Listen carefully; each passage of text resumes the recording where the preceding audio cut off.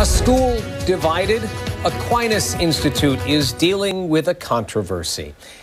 This is a controversy rooted in the culture wars that are happening in schools all over the country. Good evening. I'm Doug Emblidge. And I'm Ginny Ryan. At Aquinas, at the heart of this is a push by some families to restore what they call Christian core values. As the Rochester Beacon first reported, this debate was ignited by a wealthy alumnus who returned to Aquinas for a recent visit. 50 years ago, Robert Agostinelli graduated from Aquinas, class of 72. He went on to become a multi-millionaire financier. In November, Aquinas invited Agostinelli to visit and speak to students.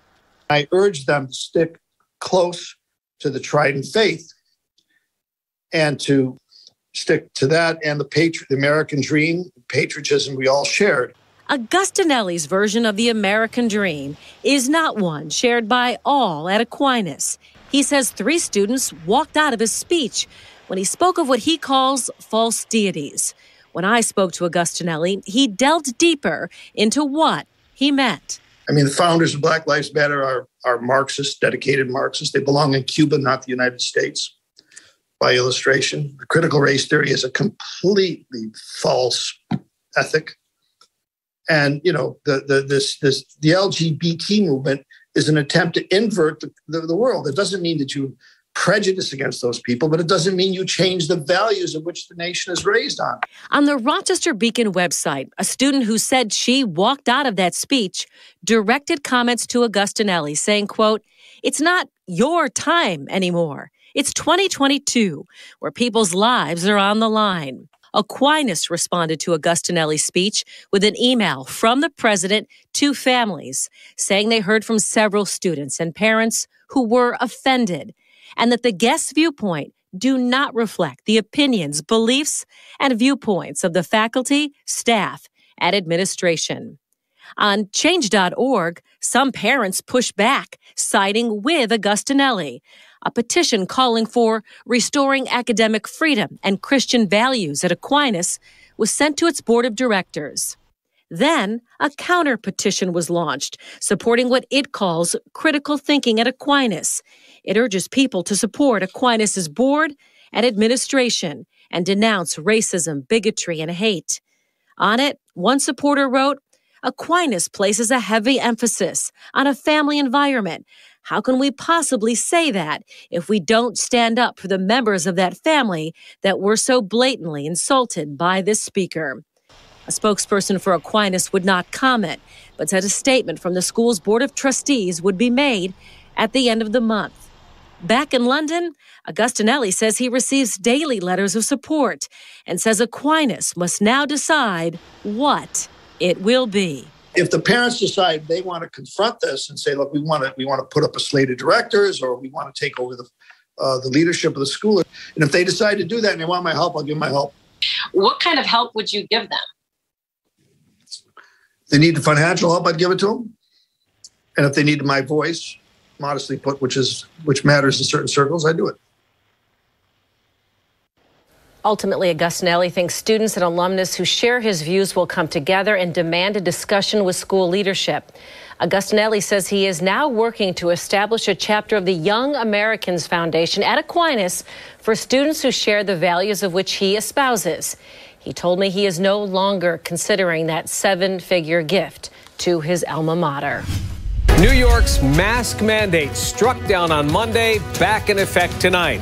The governor says it's not time to stop wearing masks in public places or schools. Now, I am so looking forward to the day to say these are history. We don't have to do this any longer. A judge today allowed the mask mandate that was struck down last night to remain in effect pending further court action. Good evening. I'm Doug Emblidge. Ginny's off tonight. The back and forth on this is putting schools in a tough spot. Just know that if he is segregated and treated differently than any other student, we will be contacting our lawyer and we will be coming to sue the school district. Emboldened by yesterday's court ruling, a Spencerport father recorded this exchange with his son's principal after he insisted his child be allowed into school without a mask. but most schools were still enforcing the mask mandate today. And with today's ruling, masks will be required in schools again tomorrow. 13 WHAM's Carla Rogner reports the discontent was evident at some school board meetings tonight. Yeah, it was, though the decision to enforce masking is out of the board's hands tonight at the Rush, Rush Henrietta School District board meeting. Several parents spoke asking for the masking to end in schools. Rush Henrietta Superintendent Bo Wright had a straightforward message for his district. Our district is required to comply with this regulation and will continue to require all students, staff, and others who are on campus to wear masks while this process is coming to completion. With a ruling from a state judge, the district has no choice but to continue following the mask mandate. Some came to the school board meeting armed with posters against the mandate. When are you going to stand up for our kids? If you want to wear masks, this is not out of the board's hands. They are the board. Do they not decide what happens to our children when they go to school? So clearly, somebody thinks that this law or this, you know, ruling is unlawful. So let's keep going. Let's keep going. A father upset his kid had to mask up during the hours the mandate was not in place Tuesday. Everyone's confused, and we're being fed this by the Board of Education. Some parents even threatening to take their kids out of school. What happened to letting parents parent the way that they want to? Monroe County Health Commissioner Dr. Mike Mendoza says masks continue to work to prevent the spread of COVID in schools and the community. And our numbers are still high. I mean, they're certainly declining, which is very reassuring. But we have to remember that that decline occurred during when mask use was actually quite good. As the appeals process continues, schools and the rest of New York will have to keep masking up. But the mask mandate is set to expire a week from today on February 1st. A week after Monroe County promised major safety changes to the Civic Center parking garage, Police were called to it yesterday after a man reportedly attempted to set another man on fire.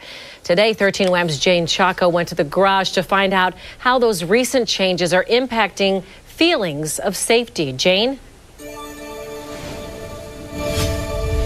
Yeah, the head of public safety says that security acted fast yesterday when an argument between two men escalated. And the people I spoke to today say they feel safe parking in the garage since these changes have been implemented.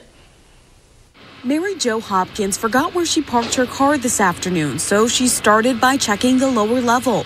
Coming out now, I tried the first ground level on number one, and it was kind of dark and a little scary. I had to walk around trying to see if I, my car was there. And there were like people sitting along the wall, just kind of like talking and joking. She noticed the next main floor was much brighter and there was more security. This is a little better with a little bit better lighting. We counted three security vehicles patrolling the garage Wednesday afternoon. Tanya Jones parks here often and says she's usually on high alert, but today she felt safe walking around the garage. You know, usually you'll come out and you'll see a lot of people, you know, just hanging around, but now I haven't um, seen that many people hanging around. And yeah, when I come here, I usually do be scared, you know, because it has been dark and you never know who's going to come from behind one of these cars. A need for more security was prompted by an assault two weeks ago. Now, Rochester police are investigating one man's attempt to set another man on fire in the Civic Center garage yesterday afternoon. The person who attempted to start the fire was detained. The head of public safety for the county says because of the enhanced security, the incident was handled very quickly. First responders were called immediately. Christy Haller says she's glad to see more security after yesterday's events. I noticed um, security driving around earlier this morning when I first parked, and I definitely appreciated that in case something happened. Yeah. I felt like someone was around to talk to. And the county says that they aren't kicking any homeless people out of the garage, but working to place them in safer housing. We asked the county today how many people, if there are any more, did the county help put in that safer housing, and we're still waiting to hear back.